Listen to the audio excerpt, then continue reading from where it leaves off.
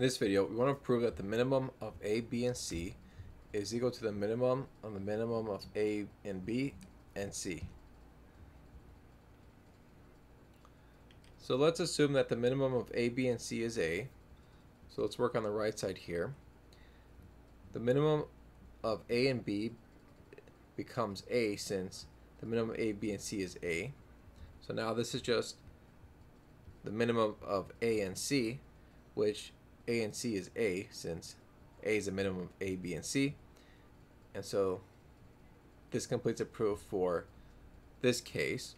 The second case will be if the minimum of A, B, and C is B. So now when we're looking at the minimum of A and B, clearly B is smaller than A and C.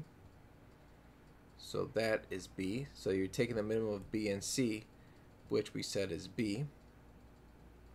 And so B is the minimum of, of A, B, and C.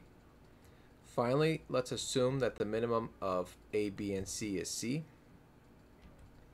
So now when we look at the minimum of A and B, it doesn't really matter what the minimum is because if A is less than B, we'll say that that turns into the minimum of, well, A and C.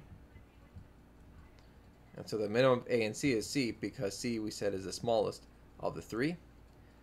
If B is less than A, we'll have the minimum of B and C, which still, that's going to be C. So it doesn't really matter which one it is. So this turns into C, which is the minimum of A, B, and C. And so that completes the proof.